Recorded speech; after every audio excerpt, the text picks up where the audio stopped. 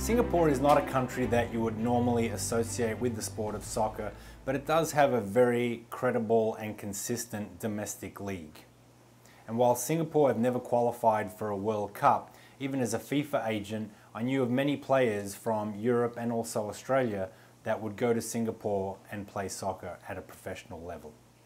It is a tiny country that is just 278 square miles in size and only five and a half million people, but it's a country with great wealth and is one of the most civilized and advanced countries in the world.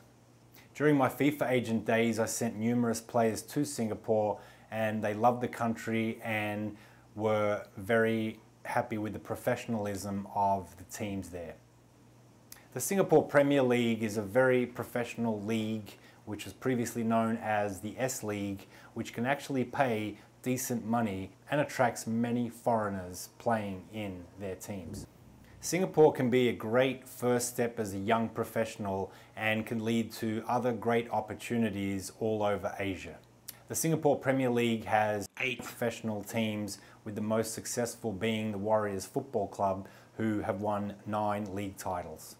Now, you're not going to make millions playing in Singapore, but it is a great first stepping stone as a player, or even if you're at the tail end of your professional career, having a few years in Singapore would be a great experience and a chance to make some good money. It would definitely be a very credible addition to your soccer player's resume.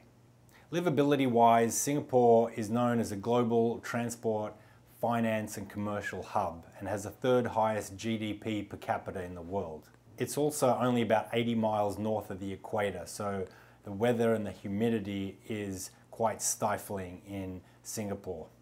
Singapore is a very international landscape that attracts foreigners from all over the world in many professional circles. It's also governed by some of the strictest laws in the world relating to all aspects of life. Chewing gum is illegal and all you need to do is Google Singapore strict laws and you'll see what I'm talking about. So if you have a family member that struggles with discipline and abiding by the law, this may not be the greatest place to send your family member.